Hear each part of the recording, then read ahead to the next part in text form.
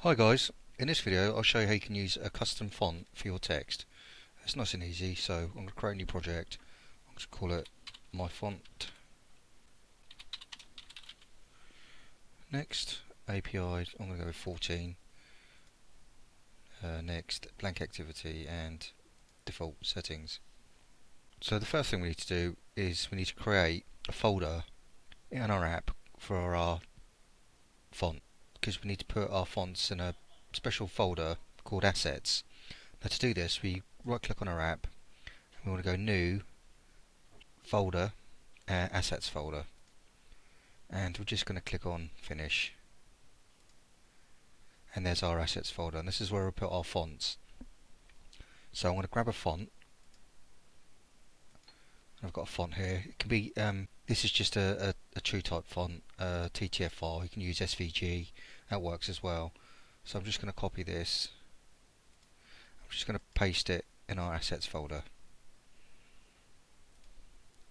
So we should see our font there ready to be used. So I'm just going to just use the hello world text just as a demonstration. I'm just going to enlarge it so we can see it make it bigger. And just going to text size make it 35 say. No. Say 55 okay that's fine. I'm just going to change the colour as well. To FF0000 nice red colour. Okay so there's our text that we're going to change. So if we run our emulator at the moment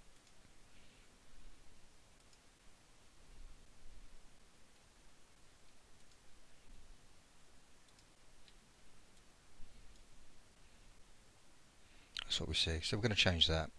So just in our on create method, just underneath our set content view, what I'm going to do is I'm going to create a typeface object.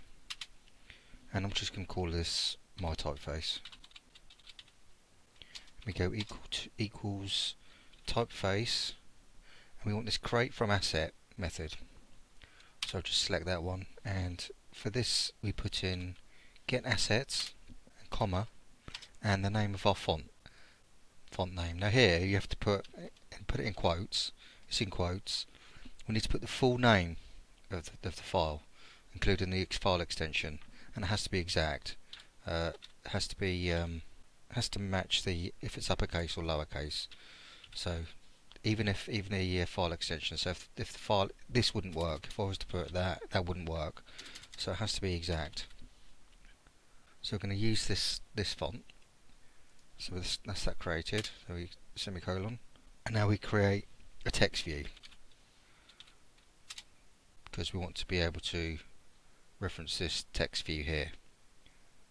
Now at the moment it hasn't got an ID, so we need to give it an ID. So ID, um, we're going to call it, uh, I'm just going to call it text view 1.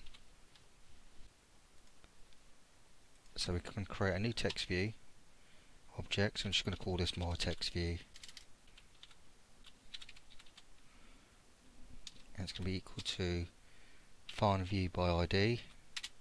And we just put in the path of the uh, of the of the ID of the text view, which is r.id dot and it's called text view one. So there's our text view. So we've created this text view referencing this hello world text view. But this, this method returns uh, a view. So we need to tell it what kind of, we need to cast the view. So we're going to call it text view. And we semicolon. Now what we want to do is we want to set the typeface for this text view to be what this is. So we reference our text view object, which is my text view, which is what we called it here. And then we dot, and we use this method this method here set typeface and it wants a typeface which is the one we created here. So we just pop our typeface object in here and that's it. That's how simple it is. So we run that.